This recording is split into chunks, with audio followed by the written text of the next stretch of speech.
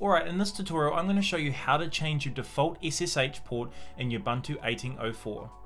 So the first thing we need to do is we need to log into our VPS, which I've already done.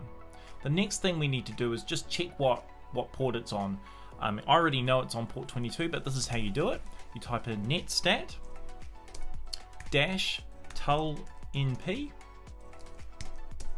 grep ssh.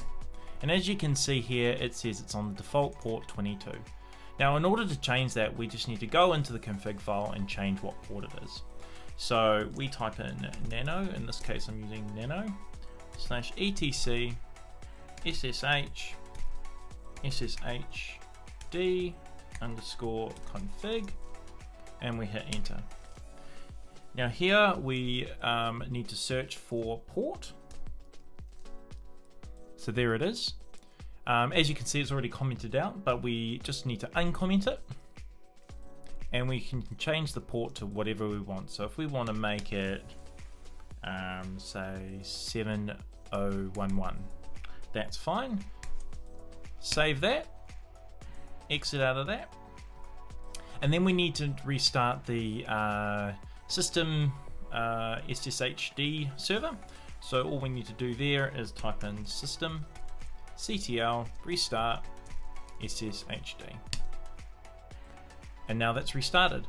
So all we need to do now is confirm that that is in fact um, changed. So we can go back up to that and type the same command in. And as you can see now, that's changed to 7011. So in order to connect to this uh, new port, we can uh, exit and we can uh, type in here. We just need to add a tag. P7011 and then obviously your username and your uh, your uh, virtual machine IP address. Hit OK and then you can type in your password here.